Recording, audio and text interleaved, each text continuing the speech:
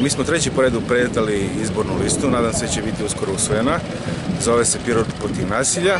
Mi smo posle 20 godina uspeli da ujedinimo sve opozicijne snage u Pirotu i sada Piroćanci imaju za koga da glasaju. Zato pozivamo sve građane da 17. decembra obavezno izađu na izbore i da poverenje daju ljudima koji će promeniti grad i grad vratiti Piroćancima.